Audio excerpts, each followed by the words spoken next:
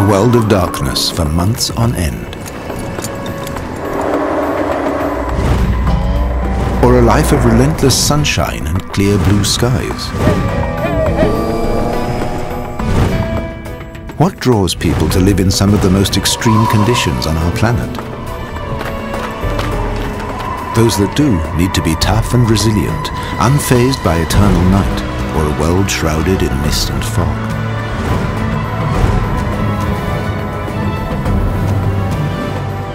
This is the story of human resilience and technical ingenuity of those living in some of the most extreme places on Earth.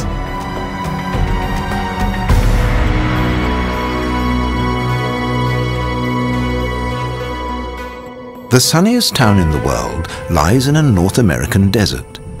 The darkest is found on the Arctic islands of Svalbard, and surprisingly in a small village in Italy and the foggiest place on Earth is Newfoundland off the east coast of Canada. Svalbard or Spitsbergen is the northernmost part of Norway, located far above the Arctic Circle. Its capital, Longyearbyen, is only 800 kilometers from the pole. It's the most northerly town in the world. The polar night here lasts for two and a half months. From October till February, the sun never appears above the horizon, and the islanders are faced with continuous darkness and bitter cold.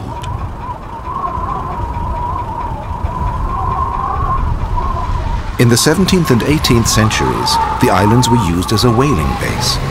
Then, a hundred years ago, rich coal deposits were found. Longyearbyen was the first mining town on the island. Today it's the largest settlement and has over 2,000 inhabitants.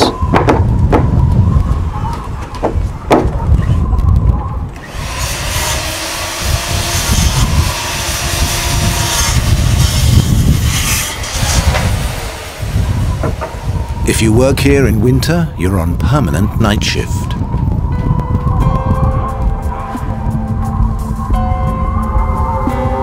Early morning in January.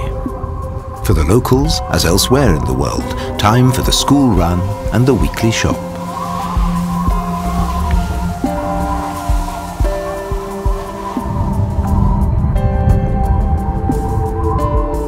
The town's old coal mines are no longer in use today. They're merely a tourist attraction in summer, and in winter, they lie deserted. Coal is still extracted on Svalbard, but the working mines are now 60 kilometers further south. There are few roads on the island, so the best way to get about is by snowmobile.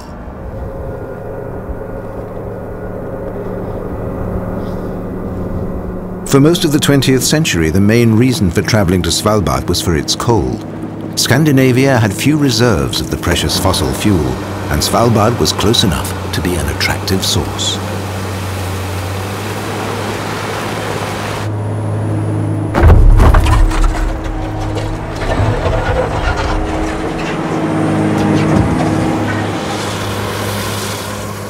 Even today, over one and a half million tons are extracted each year, most of it exported to Europe.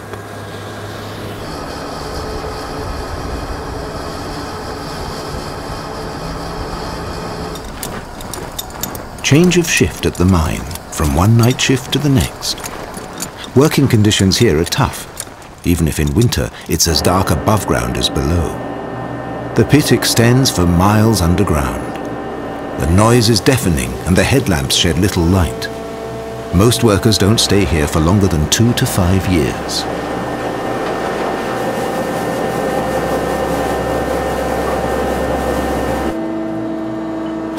Linda Norberg is one of 200 women working in the mines. She's been here for nine years now. The unusual lifestyle and the darkness seem to suit her. What is it that enticed her to stay so long in this distant and bleak part of the world? I think it's cozy. We can have some candles and it's just lovely when it's dark all the time. I don't know. Maybe I'm a dark person. Not. Despite the darkness and the grime, Linda always wears makeup to work. When she surfaces again, there will be little sign of her efforts. So what brought her to Svalbard in the first place? Yeah, when I came up here, I have decided I wanted a Norwegian boy. And I find him up here. That was different. And I, I didn't know what Spitsbergen was. Uh, but it was a lot of guys to choose from up here in the beginning. But I think I got the best one, and he's also working inside the mine. And uh, yeah, when I stayed in Longyearbyen for six years, we worked seven days on and seven days off. I had no problem. It was just everybody's so polite and really nice, and you get a lot of friends in Longyearbyen. So it's uh, it's no problem. For the miners, the end of a shift is usually marked with a drink at the bar. It's the center of social life and a good place for company during the dark days and nights. Alcohol and tobacco are duty free and relatively cheap. It's one of the perks of living here.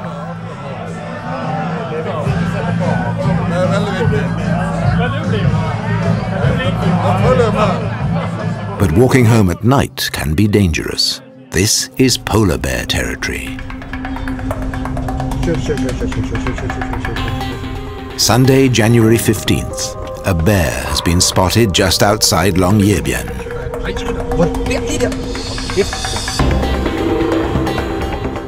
Svalbard has 2,500 human inhabitants and 3,500 polar bears. Bear attacks are rare but can be fatal. Per Andreasen is Longyearbyen's police chief.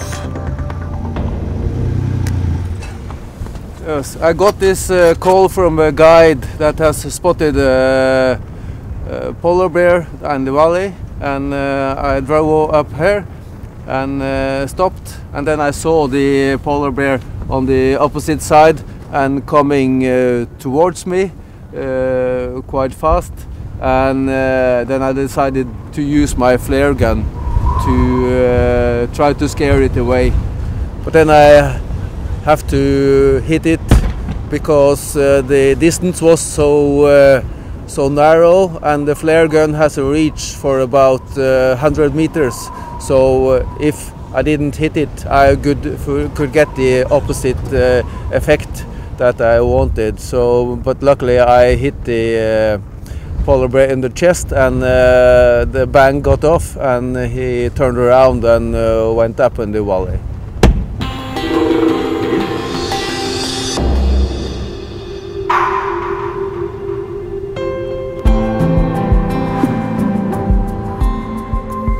Until 20 years ago, Svalbard was pretty inaccessible for tourists. An airport and regular scheduled flights were only introduced in the 1970s. One of the first women to settle here was Freya Hutschenreuter from Germany. She'd been fascinated by the Arctic since childhood and first came here in 1968. I don't want people to think that I only headed north because that's all I've ever seen. I do have a photo of myself under a palm tree, and that's good. The palm tree can stay where it is, as long as it's not in my way when I drive my skidoo.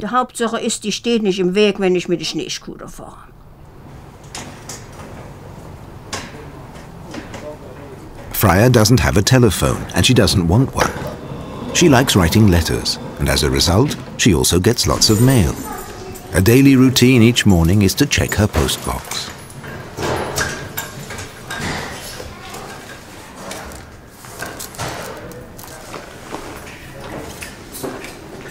There are not many older people living in Svalbard, but Freya doesn't feel lonely. She's used to her own company. Longyearbyen only has two main roads and few side streets, so even in the dark one always bumps into friends and acquaintances.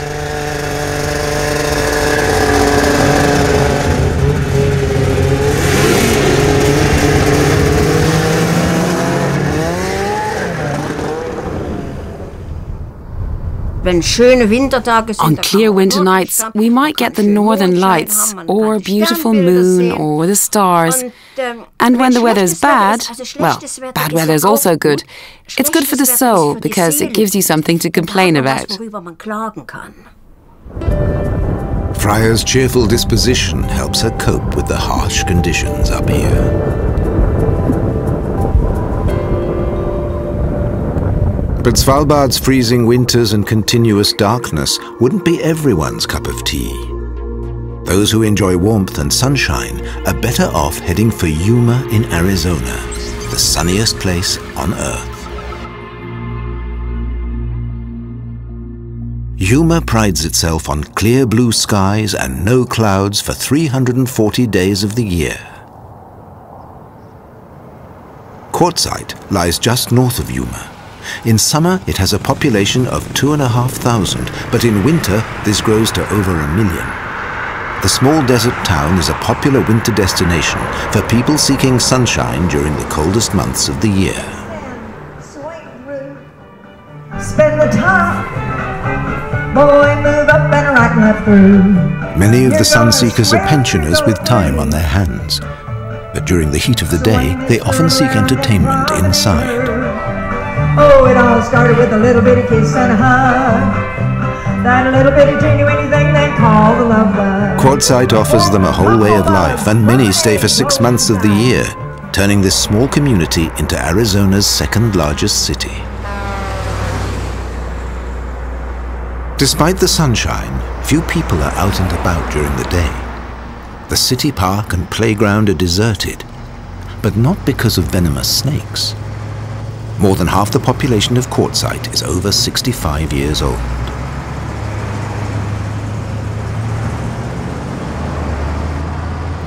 The town centre is the biggest mobile home and RV showcase in the world. They come from all corners of the United States, every make and model and in all shapes and sizes. Quartzsite has been called the Woodstock for RVers.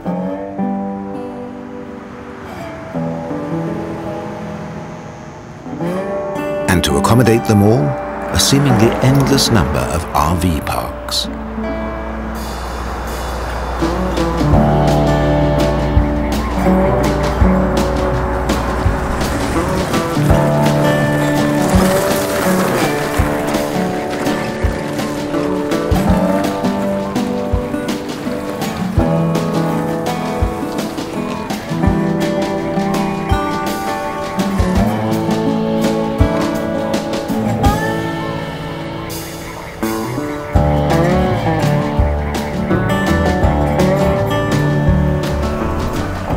Peggy Knapp and her partner had been looking for their dream retirement home for some time. In the end, they decided on Quartzsite, mainly because of the sunshine.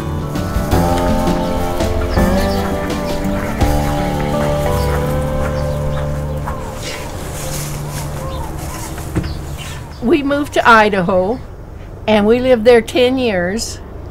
And uh, some of the winter times for three months in a row. We wouldn't even see the sun.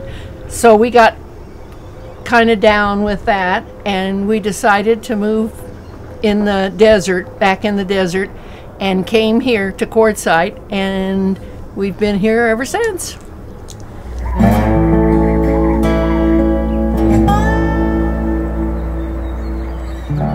Although everyone claims to come here for the sunshine, the streets are surprisingly empty of life during the day.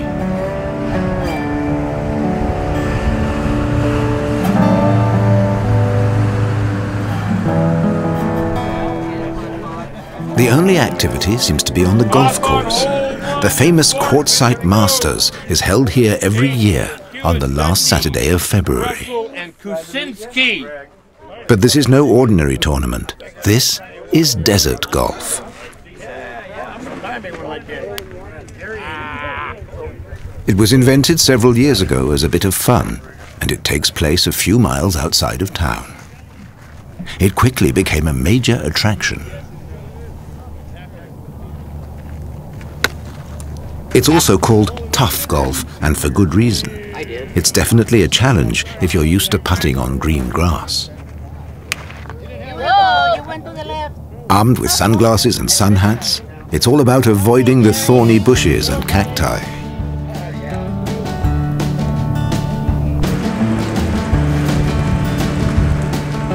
Like all tourist enclaves, Quartzsite has no shortage of shops. And most visitors ensure they make at least one pit stop at Paul Winer's bookstore.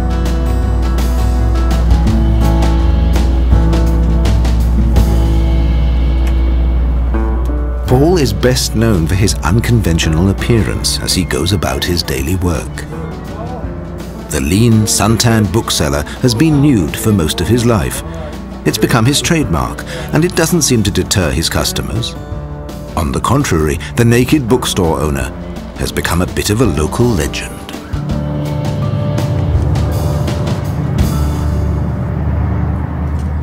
When I was a teenager, young teenager, I did not like the feeling of clothing rubbing on me. My skin was hyper hyper hypersensitive.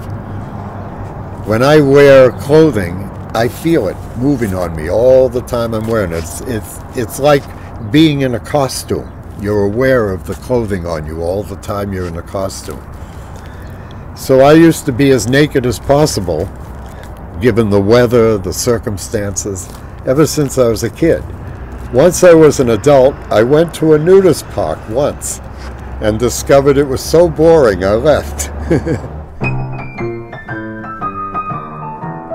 this eccentric 68 year old was once a boogie woogie pianist and still occasionally entertains visitors in his store.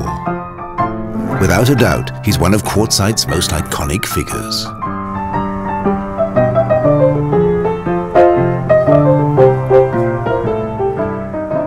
Quartzsite and Yuma owe their sunny climate to the surrounding desert. Svalbard's winter darkness is entirely due to its northerly position. But a small village in northern Italy is steeped in darkness for a more unusual reason. Viganella lies at the bottom of a steep-sided alpine valley. Every year from mid-November, the sun disappears behind the mountains and remains unseen for three long months. For most of the winter, the inhabitants of Viganella are condemned to living in the shadows of the mountains.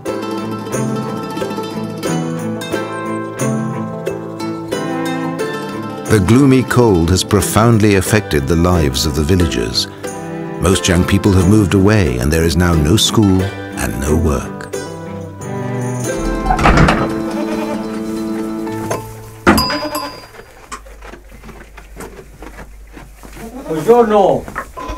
Ah. Sergio Bionda is one of the few still trying to hold on to family traditions.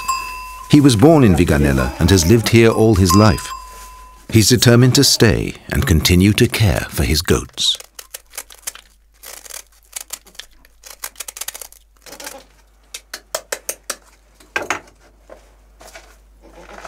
But there are few in this valley still prepared to farm the land as Sergio once did, and the local community is a dying one.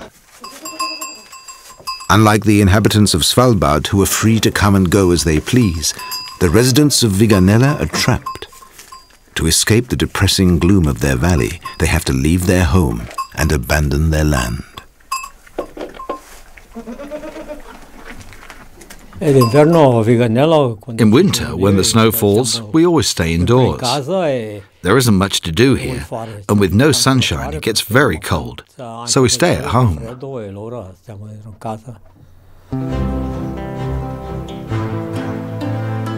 But in 2006, the local mayor came up with an idea to help the villagers out of their misery.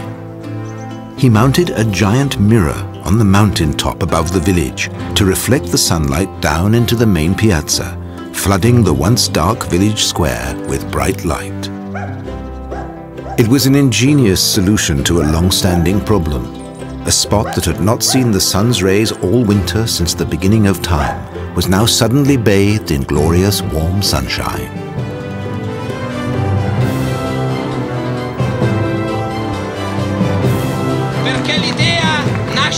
Pierfranco Midali, the resourceful mayor, had achieved the seemingly impossible and given the villagers new hope.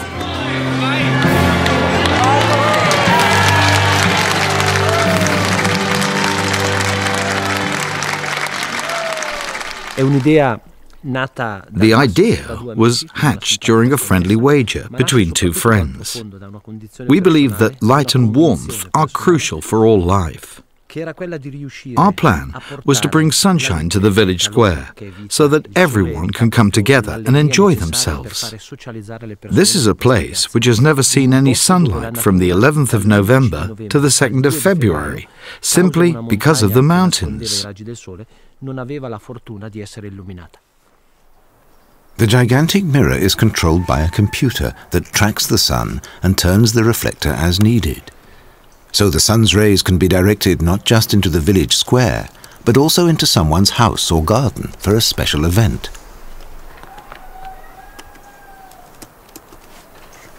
It's well known that long periods of cold and darkness can have a negative effect on a person's mood, causing what is commonly known as winter blues and none are more acutely aware of this than the inhabitants of an island off the east coast of Canada, Newfoundland.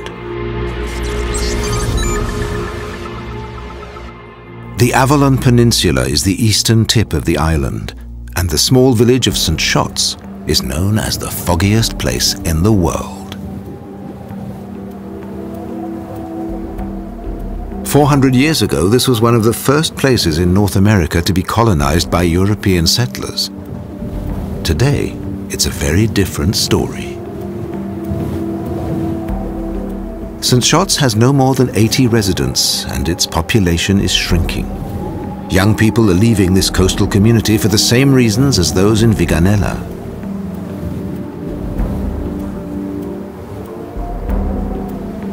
The Avalon Peninsula is nearly always covered in a blanket of fog.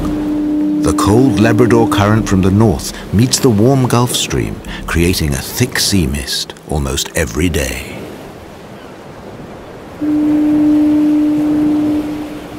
Avalon is also a mythical island featured in the legends of King Arthur. Only those with the power to summon the holy bark could find their way through the dense fog to reach the island.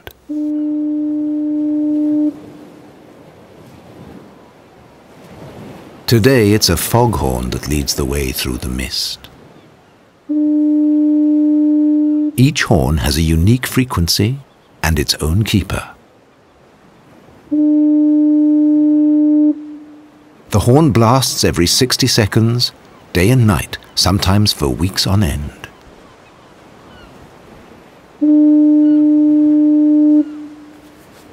Foghorn keeper Basil Malloy used to be a fisherman but the fish stocks in the seas around Newfoundland have been wiped out by centuries of overfishing. St. Shots was a fishing community and fishermen fished in open boats uh, with a compass for navigating and uh, when you get out to sea we sometimes get strong tides run probably north or south there and especially spring tides uh, and to find your find your way back in and to get back into port without a foghorn would be probably almost impossible. Especially if there's a bit of rough weather. If the, you can't get close enough to land to see a landmark, the foghorn was a godsend. And none more so than the foghorn and lighthouse of Cape Race. The coast around here is known as the graveyard of the Atlantic. Hundreds of ships litter the seabed, after falling victim to the dangerous cliffs and the impenetrable fog.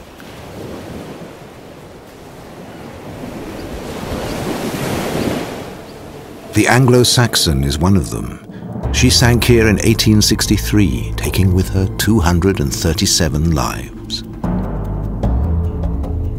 But the most famous tragedy associated with Cape Race is that of the ill-fated ocean liner, the Titanic. On the 15th of April 1912, the lighthouse received a distress call. The huge passenger ship was in trouble some 600 kilometers away. The Titanic had hit an iceberg. The wireless operator at Cape Race tried to coordinate a rescue, but it was too late.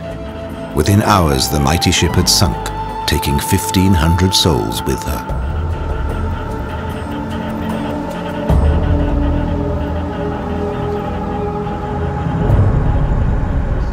Modern GPS systems make traveling through fog less dangerous. Konrad Meyerich is one of the last fishermen here who still takes out his boat, more out of habit than to earn a living.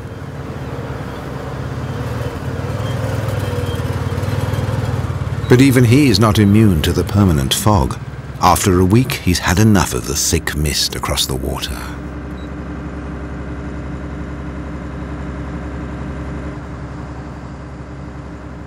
In the days when fish were still abundant here, Conrad would rise at three in the morning and spend the entire day out at sea.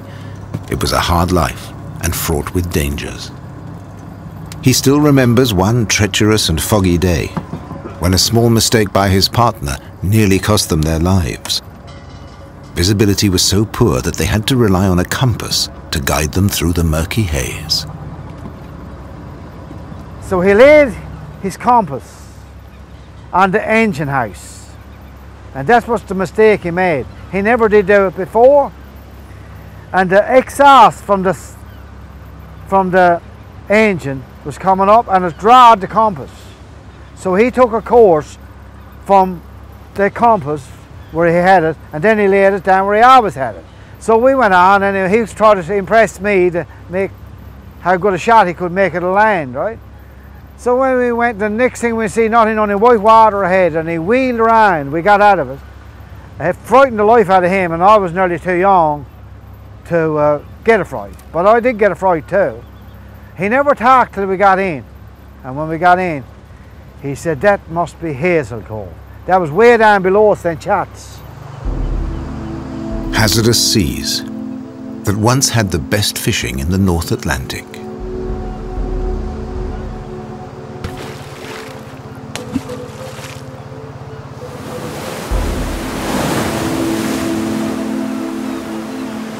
When the mist and fog finally lift, they reveal the beauty of the coastline and also evidence of the countless tragedies that have occurred here.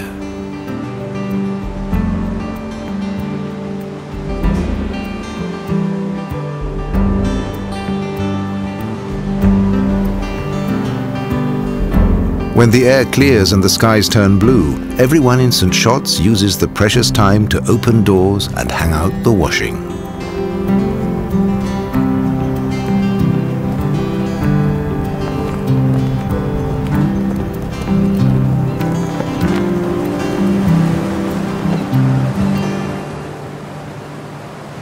Couple of hours later, and it's all over. The fog creeps back in from the sea, and the cliffs are swathed once again in a white shroud.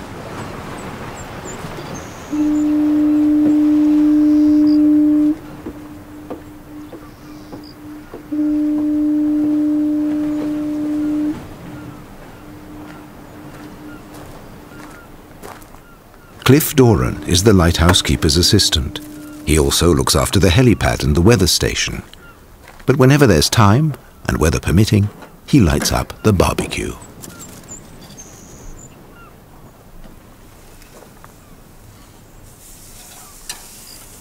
I've been here for up to around 56 days and we've had nothing but fog. You get up in the morning and it's thick of fog.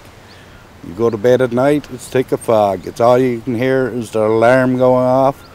You can hear cars. The, the road is approximately about 50 feet from the house. And you can hear the cars, but you cannot see them. So this is that's the way it is. After a while, it it gets pretty boring. So Cliff finds ways of keeping up his spirits. He uses every opportunity to invite friends over for a picnic. Hello, Chris. What are you cooking today? Ah, we have uh, burgers on this evening. That's good then. Where elsewhere such activities are reserved for sunny days, the people of St. Shots have learned to enjoy a barbecue whatever the weather, which usually means surrounded by walls of fog. The fog don't seem to be very thick down along there. 7,000 kilometers south, barbecues are also being lit. But in Quartzsite, mist and fog are quite unheard of.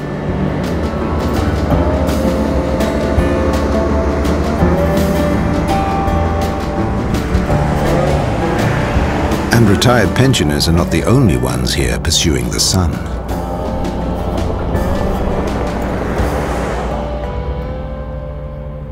Fifty kilometers outside town, they've begun to build the largest solar power plant in the world.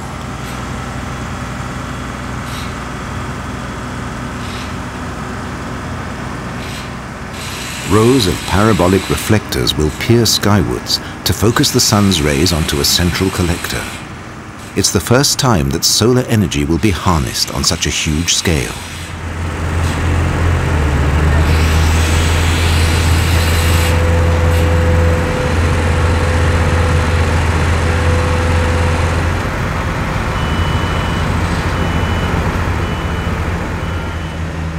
The Blythe Solar Power Project is a massive multi-billion dollar operation and it should generate energy comparable to nuclear and conventional power stations.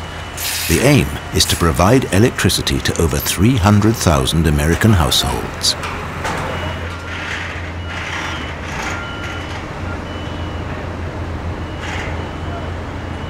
And where better to exploit the energy from the sun than here, in the sunniest place on Earth? We are here north of Yuma in the desert in Arizona. We're here on the site of the world's first solar tower, which will look like this. It's going to be built right out here in the desert, in this area. And essentially, the tower itself is a concrete structure. It's about 2,600 feet tall, which is about twice as tall as the Empire State Building. The diameter of the structure is about 300 feet, and it'll be circled by a glass greenhouse. Uh, the, the glass itself will have a diameter of about three miles. Uh, we call it the collector. And uh, the heat that's generated underneath this glass roof will actually be drawn up through the tower and turn some turbines generating approximately 200 megawatts of power. But not everybody here is excited by the ambitious project. The massive power plant is being built on land that is sacred and spiritual to the Native American Indians. They're not opposed to solar energy, but they are also not prepared to let it destroy their ancient heritage. The cause of their concern are these gigantic figures engraved in the ground. They're so immense, they're best seen from the air. And 75-year-old Alfredo Figueroa is leading the campaign to save them this area here is very sacred to us and to everybody.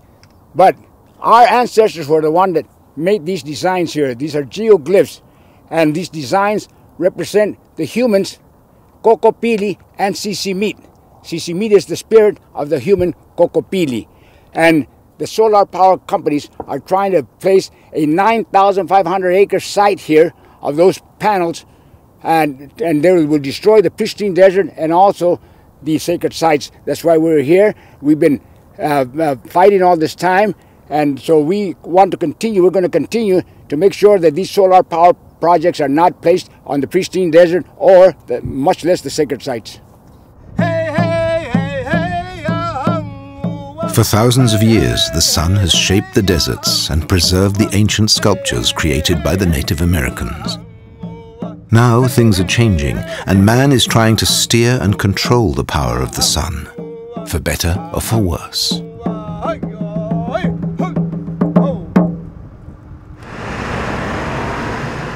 Many of mankind's technological achievements are based on an age-old desire to master the elements. And one such dream has long been the yearning to take to the air.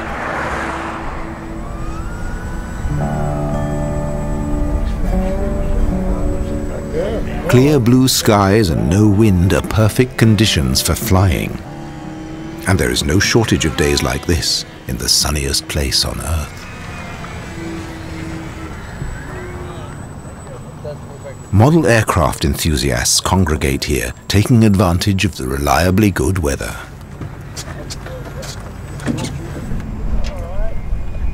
During the Second World War, the US Air Force opened a strategic base here. This was closed down again once the war was over. But some of Yuma's residents wanted to persuade the government to keep the airbase open, and they tried to gain publicity with an aerial endurance stunt.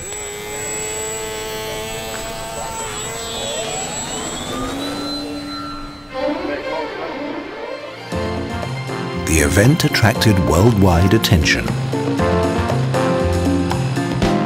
a local car dealer and an electrician would try to stay in the air continuously for six weeks without landing. The plane was fueled in flight from a moving car.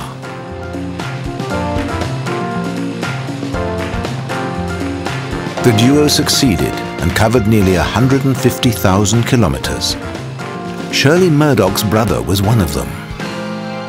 When my brother told me I'm going to fly and not land for six weeks, I thought, uh, first of all, I thought it was impossible because I hadn't been aware of others having done that. And secondly, I thought it was kind of strange. Why would anybody want to do that? Well, the reason is to show, to brag about our good weather. We have to show the world that we have good flying weather. So I was kind of skeptical, not frightened, just kind of thinking it was a strange idea.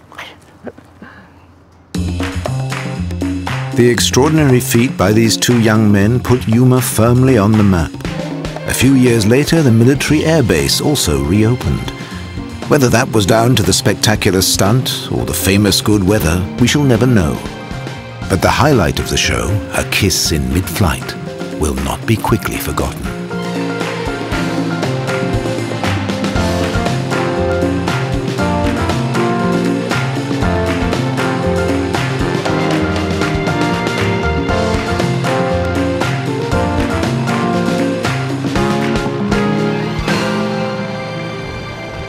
Even today, Yuma's skies are filled with the sound of helicopters, passenger planes, and military jets.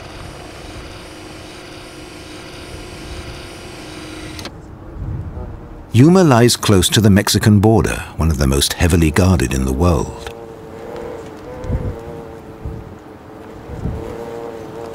Every square kilometer is monitored closely, day and night.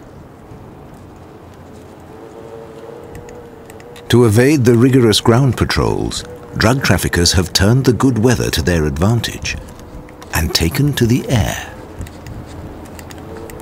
Most recently, we've seen an increase in the use of ultralight aircraft, which is a very small aircraft uh, that they use to travel into the United States.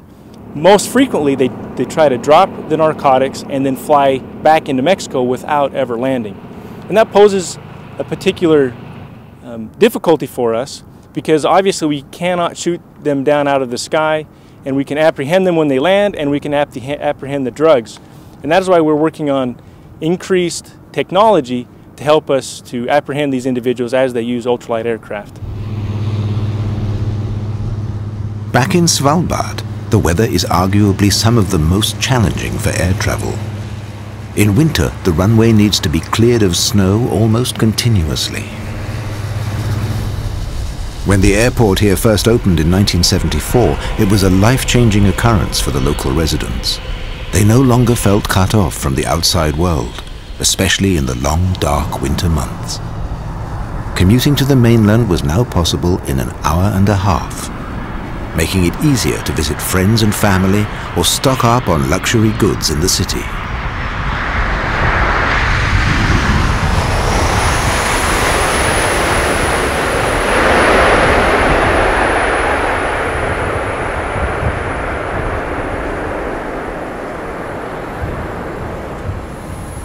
As soon as the sun starts to shed a little light on the island again, the first tourists arrive. Each year there are more, already up to 70,000 a year.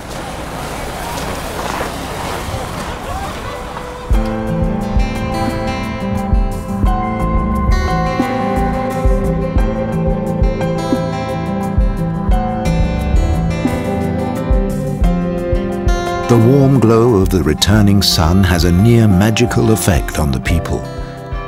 It's a time for rejoicing, giving thanks for the light, and for welcoming newborns into the community.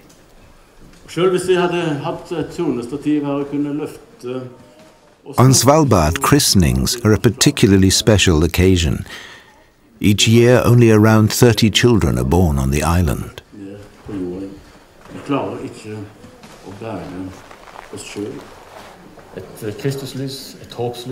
A candle is lit for little Lea Eva. Er Svalbard has only one church, and its congregation is the most northerly in the world. Etter vår Herre Jesu Kristi ord og befaling døper jeg deg til Faderens og Sønnens og Den hellige ånds navn. Lea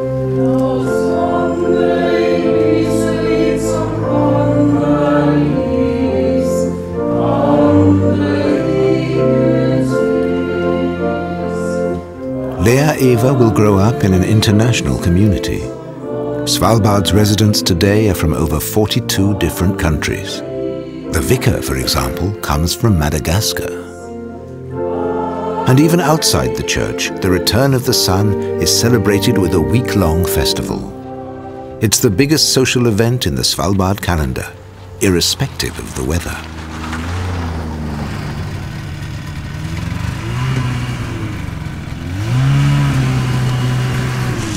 For now, frost and ice are still the order of the day, and the thick covering of clouds lets through little of the promised sunlight.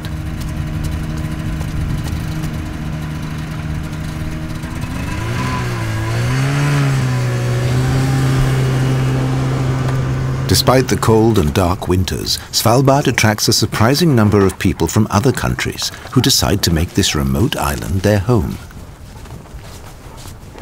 Karolina Karas is from Poland and she earns her living as an expedition and dog sledding guide, or sometimes on a cruise ship or on polar bear duty.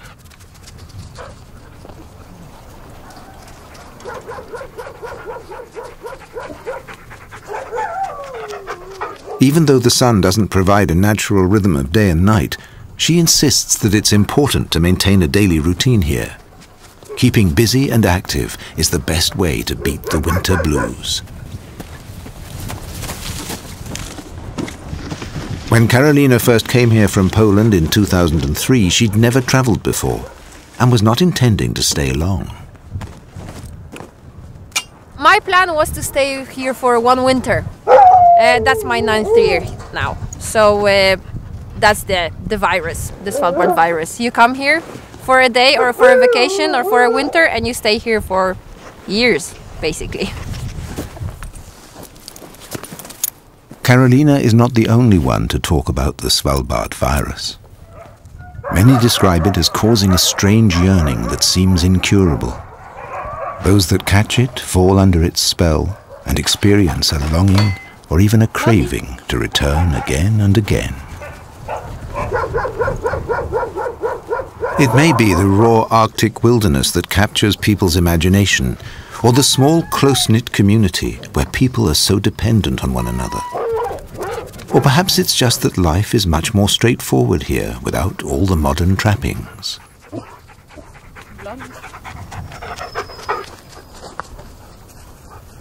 Uh, sometimes I miss trees. I miss the real summer with the t-shirt and short pants. Yeah, I think that's that's what I miss the most. Karolina has traded in a world of trees and hot pants for one where resilience and strong nerves are needed. Here, her daily life is simple and revolves around the most basic of human needs.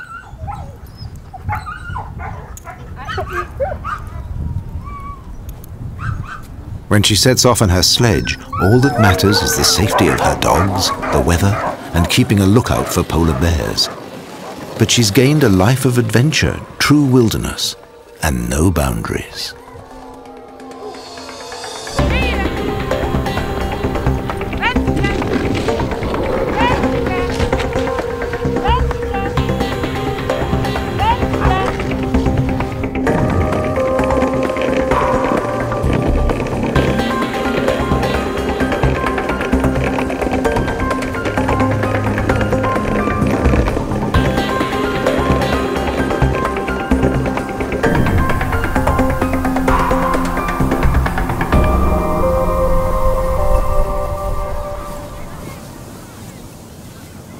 It's March the 8th, the day the sun officially returns to Long Longyearbyen. All the children in town head up the hill for the beginning of the Sun Festival.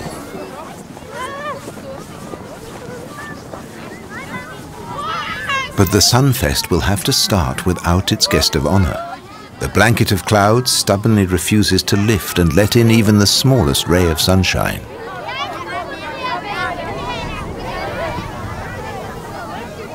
But the people of Longyearbyen are not easily put off. This is only the beginning of a week-long celebration of concerts, lectures, services and parties. Strålende. Ok, først av alt vil jeg ønske dere alle sammen velkommen til at vi Today they're celebrating not just the return of the sun, but also of their youngest council member, 18-year-old Vilja Hansen. Du skal flytte, ja. Vilja was badly injured in the massacre on the Norwegian island of Utoya, where he survived being shot five times. He, more than anyone here, appreciates seeing the sun once again.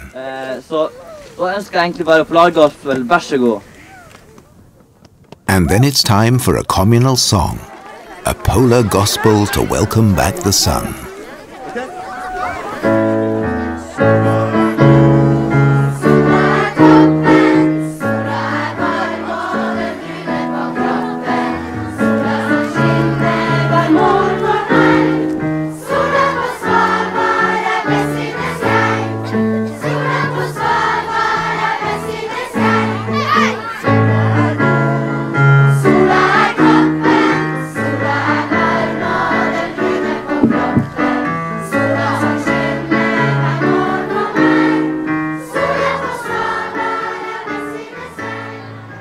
The valley of Viganella, a cover of cloud also threatens to dampen a special day. It's February the 2nd, and the first day that sunlight will reach the village square again. Here too, the arrival of the sun is celebrated, and preparations are in full swing.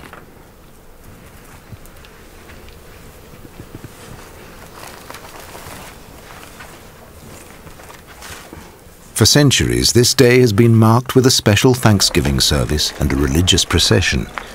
In the Catholic Church, it's Candlemas Day and signifies the end of the Christmas season.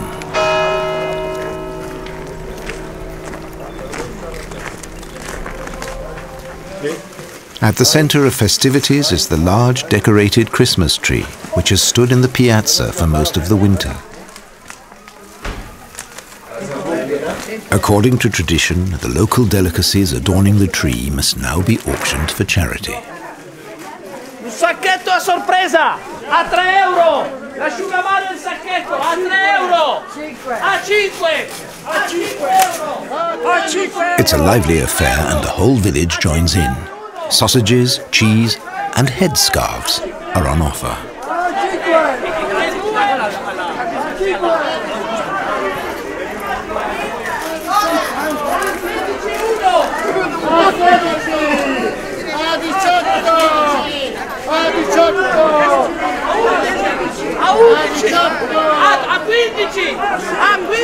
For the residents of Viganella, the ingenious large mirror may have brought a shimmer of light into their dark winters. But nothing quite compares with the return of real sunshine and an end to the cold winter. That will always be a time for celebrating.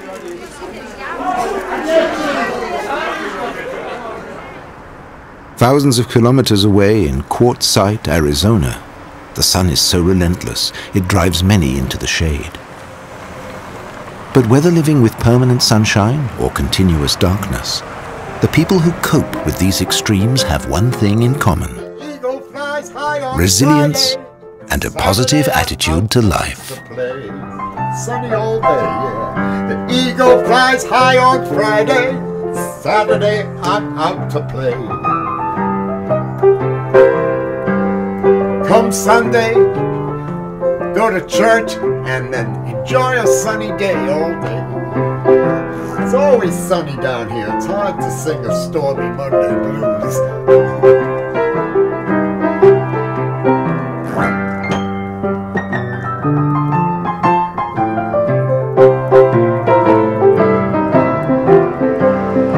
Hurry down, sunshine. Let's just see what tomorrow brings. Hurry down, sunshine. Hey, let's see what tomorrow brings. Yeah, I sometimes pray for rain, just for a change of things. You know, there's nothing like sunshine. Help keep the blues away.